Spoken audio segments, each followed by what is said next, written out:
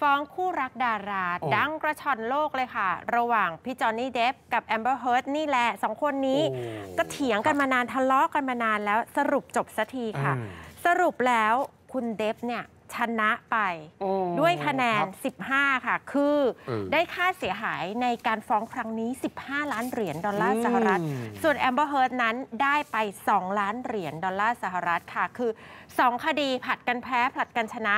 บวกแล้วเนี่ยหักกลบลบหนี้ยังไงอืมแอมเบอร์เฮิร์ตยังต้องครับจ่ายอีก 13 ล้านเหรียญสหรัฐนะคะคณะเออที่ลูกขุนแห่งศาลเวอร์จิเนียทั้งหมด 7 คนเขาบอกว่าที่แอมเบอร์เฮิร์ตเขียนบทความว่าตัวเองเนี่ยเป็นเหยื่อครับความรุนแรงของจอห์นนี่เดปป์หมิ่นประมาทอย่างนั้นอย่างนี้ เขาบอกว่าน่าจะเป็นเรื่องที่โกหกขึ้นมาค่ะโอ้แล้วก็แสดงครับออกถึงความอาฆาตในศาลเพราะฉะนั้น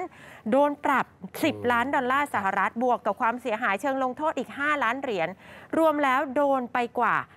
516 ล้านบาทไทยค่ะโอ้ยโอ้เขาฟ้องกัน 500 กว่าล้าน ส่วนเฮิร์ตเองก็ฟ้องจอห์นนี่เดปป์กลับข่าวว่าอืมใช้ความรุนแรงทำนู่นทำนี่แล้วหมิ่นประมาทตัวเองอะจอห์นนี่เดปป์ก็โดนไป 2 ล้านเหรียญสหรัฐหรือ 68 ล้านบาท สรุปแล้วยังติดอยู่ที่แอมเบอร์เฮิร์ตอีก 13 ล้านเหรียญ ซึ่งแอมเบอร์เฮิร์ตบอกว่า โอ้โห ไม่รู้จะพูดยังไงอืมเสียใจกับเรื่องกระบวนการยุติธรรมเหลือเกิน รู้สึกว่าต่อไปนี้ผู้ครับหญิงจะอยู่ยังไงอะโอ้ครับฟ้องคดีแบบนี้ก็แพ้อ๋อแต่ศาลท่านพิจารณาแล้วล่ะค่ะคก็รับน่าจะออกมาแบบนี้แหละขอรบศาลนะอืมอ่าคุยคำโน้นบ่ายสามโมง